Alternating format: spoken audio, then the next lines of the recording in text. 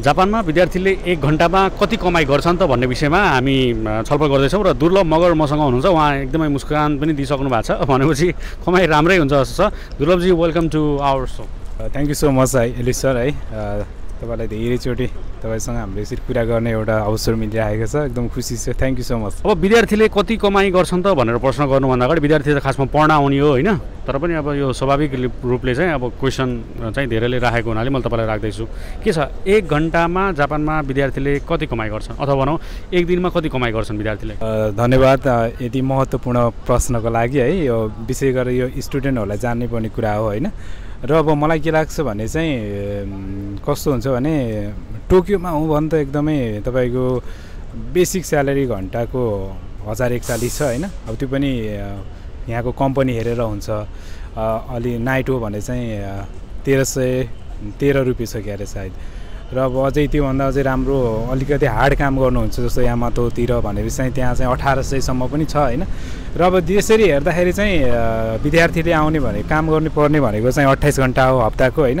र अब तपाईँले ह्यान्ड क्यासहरू पाउनुभयो भने चाहिँ एकदमै राम्रो हुन्छ र त्यसरी ह्यान्ड क्यास पाउनु पऱ्यो भने तपाईँले दिनमा कममा पनि बाह्र हजारदेखि नेपाली पन्ध्र हजार सोह्र हजारसम्म कमाउने मान्छेहरू पनि मैले साथीहरू भेटेको छु। त्यही हो दिनको कमाइ चाहिँ कममा यदि राम्रोसँग काम पाउनुभयो भने चाहिँ ह्यान्ड क्यास होइन।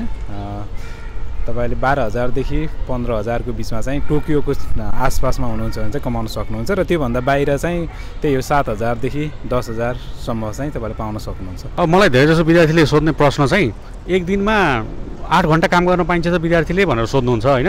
यो कसरी म्यानेज गर्ने यो कुरा पनि भनिदिनु विद्यार्थीलाई। सम् हो यही कुरा थाहा पाउन एकदमै जरुरी छ स्टुडेन्टहरूलाई चाहिँ है। कस्तो हुन्छ भने अब अट्ठाइस घन्टा हप्ताको भनी छ होइन मैले चाहिँ सुरुमा म स्टुडेन्ट हुँदाखेरि चाहिँ मैले चाहिँ के गरेँ भनेपछि अब शुक्रबार यहाँ चाहिँ शनिबार र आइतबार चाहिँ बिदा हुन्छ के अरे कलेजहरू होइन। शुक्रबार राति शनिबार र आइतबार गरेर तिन दिनमा चाहिँ मैले अट्ठाइस घन्टा पुऱ्याउँथेँ होइन।